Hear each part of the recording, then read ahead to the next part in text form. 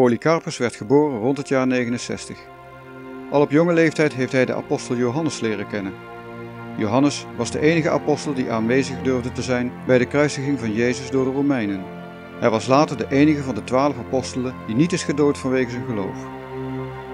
Omdat Polycarpus het verhaal van Jezus rechtstreeks heeft kunnen horen van de inmiddels oude Johannes, had hij bij christenen veel gezag. Een Bijbel zoals we die nu kennen was er niet, maar de vier verhalen over Jezus circuleerden al wel. Omdat de aanhang van het christelijk geloof gestaag groeide, kwamen velen in de verleiding om allerlei nieuwe verhalen over Jezus te schrijven. Een enkeling vond zelfs dat van de vier verschillende verhalen over Jezus één lang verhaal gemaakt moest worden. Polycarpus en de andere leiders waren hier zeer op tegen. Ze wilden zo dicht mogelijk bij de originele woorden en daden van Jezus blijven. Er werd daarom niets veranderd aan de originele geschriften. Ze wilden ook geen onbetrouwbare verhalen toevoegen, hoe mooi die ook mogen klinken. Mede daardoor is Polycarpus een leider van de christenen geworden in de stad Smyrna.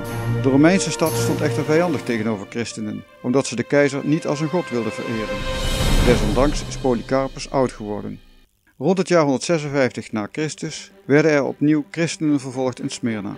De Romeinen gingen uiteraard Polycarpus zoeken.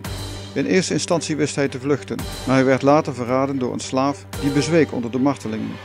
Toen de soldaten Polycarpus wisten te vinden, bleef Polycarpus rustig. Hij nodigde hen uit om een maaltijd met hem mee te eten. Daarna ging hij met hen mee. Hij werd verhoord door de plaatselijke gouverneur.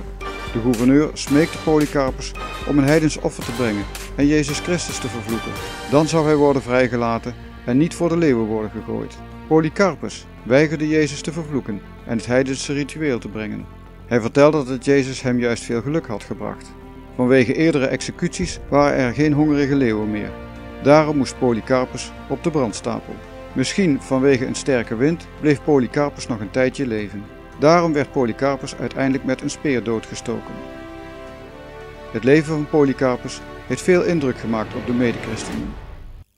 Niet alle christenen hebben de moed gehad om net als Polycarpus te sterven voor hun geloof. Mensen zoals Polycarpus hebben echter ervoor gezorgd dat het christendom uit kon groeien tot de grootste godsdienst ter wereld.